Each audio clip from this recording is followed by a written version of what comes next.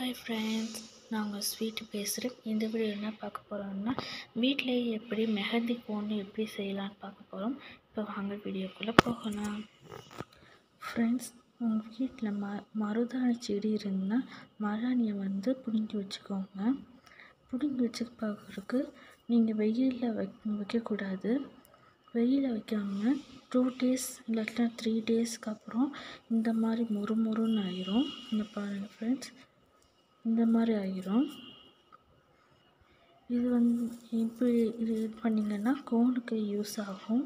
நீங்கள் நீங்கள் மருதாணி போடணுன்னா நீங்கள் வந்து இலையை வந்து பிரிச்சுட்டு அப்படியே அரைச்சிட்டு கைக்கு போட்டுக்கலாம் இப்போ உங்களுக்கு கோனு தேவைன்னா நீங்கள் வந்து வெயிலெல்லாம் காய வைக்க தேவையில்லை. டூ டேஸ் த்ரீ டேஸ் வந்து இந்த மாதிரி நீங்கள் வந்து காய வச்சிட்டிங்கன்னா இந்த மொறு மொறு இந்த மொறு மொறுன்னு ஆயிரும். ஃப்ரெண்ட்ஸ் இப்போ வந்து பார்த்திங்கன்னா மருதாணியை வந்து நம்ம ஒரு பண்ணி ஒரு சின்ன டப்பில் வந்து போட்டு வச்சுருக்கேன்.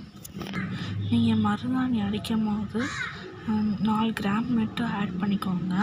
உங்களுக்கு தே உங்களுக்கு தேவைன்னா ஆட் பண்ணிக்கோங்க. நாங்கள் வந்து நாலு கிராம் வந்து ஆட் பண்ணியிருக்கோம். இதை வந்து எப்படி யூஸ் பண்ணணும்னு இப்போ வந்து சொல்கிறேன் இந்த பவுடர் வந்து உங்களுக்கு தேவையான அளவு எடுத்துக்கோங்க. அது கூடவே கொஞ்சம் கொஞ்சம் ஜீனி ஆட் பண்ணிக்கோங்க.